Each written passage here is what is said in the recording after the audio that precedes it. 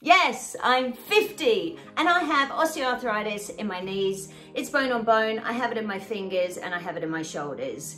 It's real, the pain is real, the journey's been tough. But let me tell you, the pain I had almost two years ago to the pain I'm in now, night and day.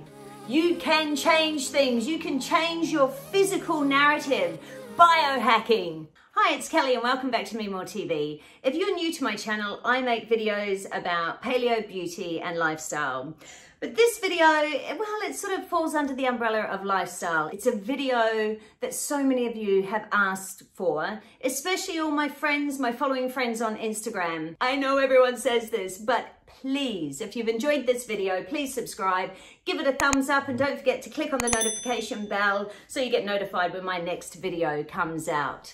So today's video is about osteoarthritis, predominantly in my knees. I'm going to give you my history, I'm going to talk about my treatment, and I'm going to talk about how I've reduced severe pain, you know, the highs, the lows, and biohacks, I guess you would call them, that I do now, because I've gone from extreme pain to not even moderate pain. My pain has reduced immensely. So let's start with a snapshot of my, my history. First of all, I'll start with my mum. My mum had arthritis in her shoulders, in her ankles, in her knees. She didn't have it in her fingers and she had a double knee replacement. She was overweight and then she continued to put on more and more and more weight. Um, sadly, we lost her to bowel cancer uh, in May 2018. So it's in my DNA, although they say it's not hereditary. I don't know about that. Don't know what I believe because I know my brother is struggling with it in his feet. At age 39, I got decided to get fit. That's all on, I can slide that in. There's a how I lost my 15 kilos before I turned 40. But I just started doing CrossFit. I started running. I had never, I just let myself go, basically. You know, I'd had my second child, put on the weight, couldn't lose the weight, and just was in this terrible rut. So I lost all that weight, got super fit, and I, I, was on it for, kept it going for a couple of years, but because I never had the muscle around my knee, I did, had no support there, running was probably the worst thing for it. And I had a tear on the meniscus in here, in here, on both knees. And I went in, um, I saw my knee surgeon, Professor Haddad. He did arthroscopic surgery on both knees. That was silly doing them both at the same time. So painful.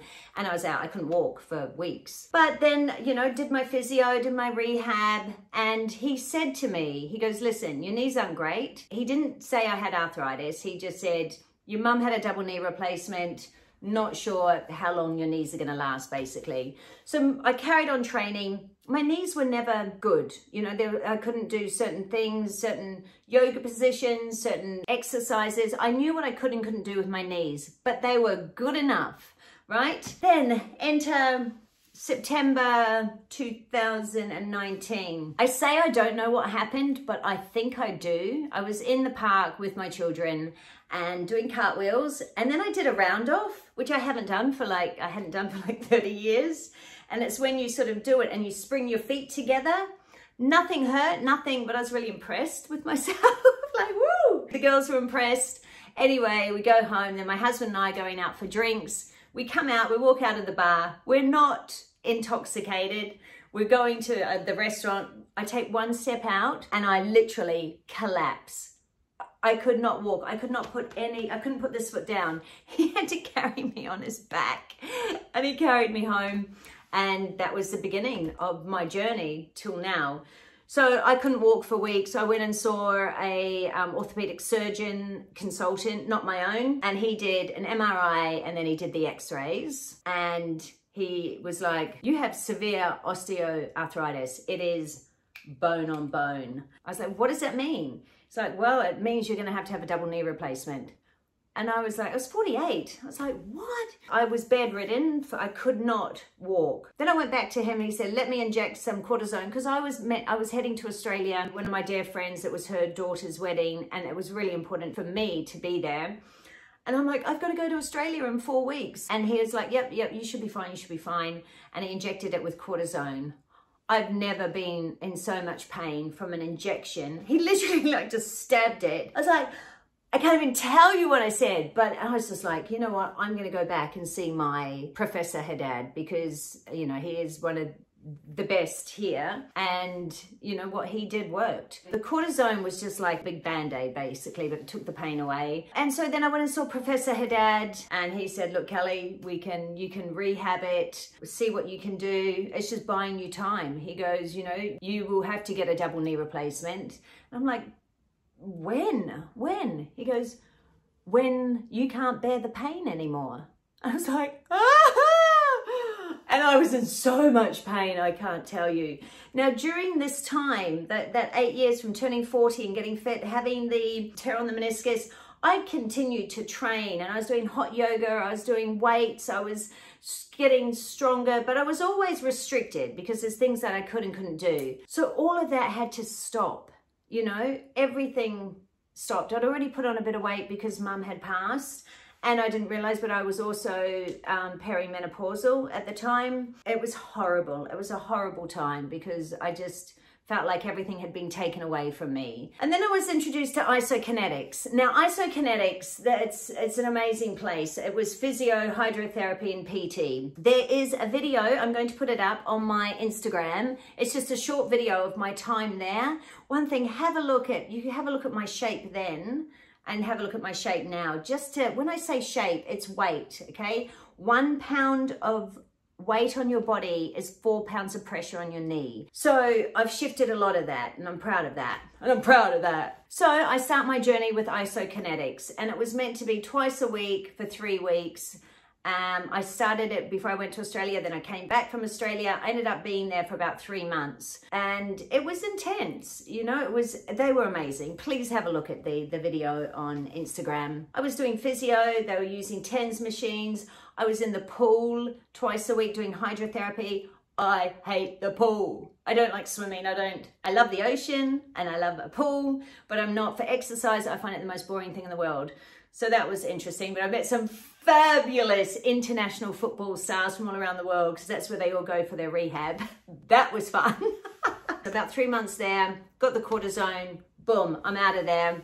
And that was January last year. I started training again. And at the first session, I just tweaked. You know, a lot of trainers don't adapt to your injuries or don't know how to and I just knew it and I was trying to uh, do what I used to do and I, I couldn't. I was filled with fear so I didn't do it. You know, I, I actually just stopped training altogether. Until November last year, I meet this amazing, crazy chick called Belinda from Australia, Brisbane, Australia. We actually met in Brisbane, Australia. That's another story. She is phenomenal. She is the best trainer I have ever, ever worked with in my life. Everything I do, she adapts for my knees, for my shoulders, for my mental health, if I'm just, my hormones are out of whack, I'm not feeling great, she won't push it. She knows how to manipulate the body, but also work with the body and, and with my mind. She listens, she really listens. And I've been training with her since then. She has changed my life my life, without a doubt. She would not train me until I bought these mechanical knee braces and I had to wear them. I think I wore them for at least the first six weeks until then we moved on to the knee uh, supports. You know, she put this little trampoline in front of me and was like, you know, let's get on that. I'm like, are you freaking mad? I thought this girl's gonna kick, she's gonna do to my knees. And I was filled with fear for a long time. It took a long time for me to really trust her because she just made me do things that I'd never done before. But it's what I should have been doing before, if that makes sense. So I had these mechanical knee braces on and she just slowly started rehabbing me. And if you can see what I do now on the rebounder, have a look on my IGTV. I did a little quick review, I guess, on about the rebounder, my little trampoline. Game changer, changed my life. Do it every day and what it's done for my knees, I just, I can't tell you. Anyway, so I started training with her and then she also looked after me with nutrition, but you know, I'd like her to talk about that sort of stuff. And I lost nine kilos. I've got muscles that I never ever had before. Well, maybe I did, but not as defined. My osteoarthritis in my shoulders uh, is fantastic. Touch wood. I had cortisone injections in both of my shoulders but I also have calcification in my shoulders, but all of that has has basically dissipated or, you know, been broken down into my body. Um, my osteoarthritis in my fingers, took my nail polish off, is probably the most pain I have. My osteoarthritis in my knees, it is still bone on bone. I continue to try and work with increasing the strength and the muscle around my knee because I don't have it. I don't have a lot of muscle at all. I was training with Belinda three times a week before my 50th because I had my goal and now I train with her twice a week. Everything I'm about to show you is what she has introduced to me. So once we went from the mechanical knee braces and then we moved into these. These are knee supports. I almost never not wear them. I wear them under my jeans. At my 50th, okay, I'm gonna show you a photo. At my 50th, I had them under my dress and I actually wore heels, not that high, but I wore heels, but there's no way I was going to attempt that without wearing my knee supports. And I knew I would be dancing all night. I wear a size four, but I've also bought a size three and I changed the color because with the weight loss, these are just a little bit firmer, but sometimes they feel too tight it depends how I am feeling too and whether how much fluid is going through my body, whether I'm bloated, not. And I swap between the two. Everything I'm about to talk about, you will have direct links in the description below. I ice my knees every night, even when I don't train. I get my feet up on my pillow, elevate, or I literally, they're iced, and get them above my head because you want all that blood to flow down and flow around and all around the knee, get it all going because I've got so much, still so much inflammation around the knee. And then every other night or when the pain is just a little bit too overbearing, I use my TENS machine. Again, Belinda recommended all of this for me.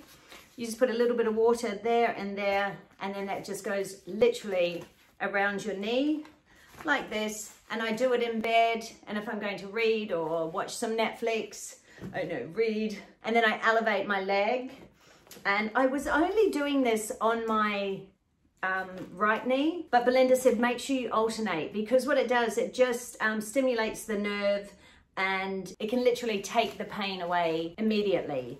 So I do that when I need it and you've got four different settings and you can raise the intensity. Be careful, make sure you read it properly because there's one where it goes until it's about 10 minutes, then it starts going and if you've got that on 20, I remember going, ah, ah, turn it down, turn it down because it was too much. Make sure you read the instructions properly. You know what's interesting is, because I also have an osteopath that I see, who's actually, he's an energy healer, he's a spiritual man, and um, he also works a little bit with my knees. But I remember when I first went, when all this happened, and I went and saw him, and I was just so doom and gloom, and oh my gosh, you know, and I'm telling them what the doctors have said and now they've said, gosh, your left knee is worse than your right knee. And he said, oh, okay. And the right knee was the one that I collapsed on. He goes, so Kelly, how, how's your left knee? I'm like, oh, left knee's great.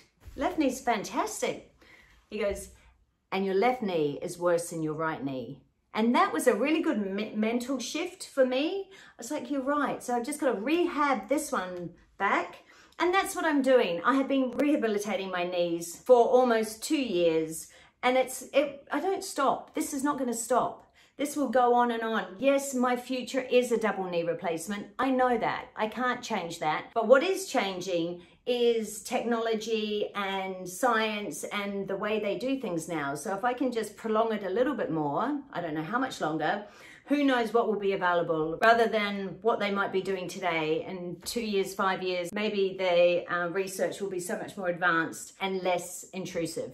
Who knows? I take magnesium every night. I take three magnesium every night. I use when I'm in extra pain, I spray on my magnesium joint spray. One other thing, which, you know, I can feel this. I can feel it when I walk. I cannot go out for a walk with the family wearing what I used to wear, which would be all my golden goose, beautiful golden goose. See that? Totally flat. If I go out and walk in these for more than 10 minutes, my knee starts to hurt, and that's with my knee support.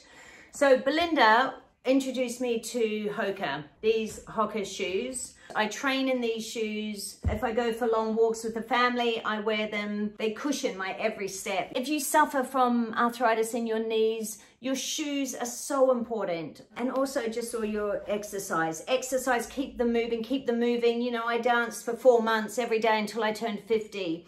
I thought, oh my God, what am I going to do to my knees? But it was the best thing for my knees. You can see that on my Instagram. They're all in my reels. All right, that's it. I hope that you have gained something new or some sort of support system that you can apply to your pain with your arthritis. There's so much we can do. And can I just say, this is an investment. You invest, you buy a house, you invest, you buy a car. None of that matters if you don't have your health if you're, if you're not around to enjoy it. Put that investment into you. This is it. You know, health is wealth, as my husband says. I really hope you've enjoyed this video and got a few tips from this that can help you with your pain threshold. Don't forget to subscribe and I'll see you in my next video. Bye. My fingers and, oh, I need to take that nail polish off.